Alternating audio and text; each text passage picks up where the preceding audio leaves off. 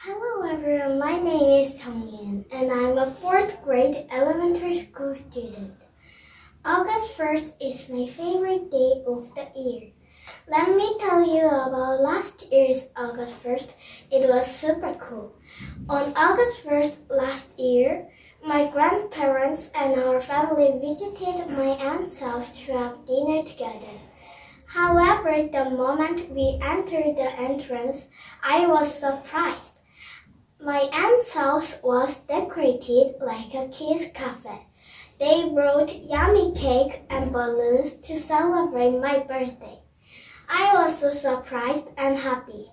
Seeing the happy 10th birthday balloons even made me cry a bit.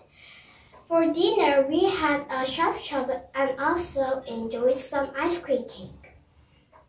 My favorite aunt gave me a jointed doll as a gift, and my grandparents gave me a book with my pictures as a present.